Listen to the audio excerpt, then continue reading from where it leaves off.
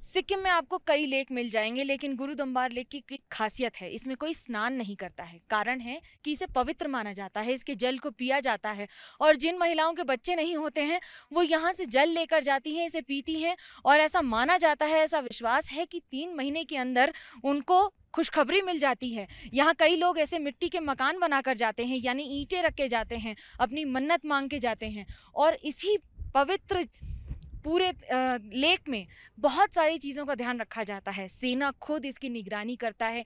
आने जाने यहाँ पर किसी की परमिशन नहीं होती है। जो आते हैं, ये वो लेक है जहाँ लोग आते तो हैं, लेकिन स्नान नहीं करते हैं। अद्भुत है ये। और इतनी ऊंचाई पर, यानी कि पंद्रह हज़ार फीट से ज़्यादा की ऊंचाई पर यहाँ पर भक्तों की कमी नहीं है, आने वालों की कमी नहीं है, और जो आते हैं, उनकी भक्ति की कमी नहीं है। क्योंकि आखिरकार विश्वास पे ही तो सब कुछ कायम है।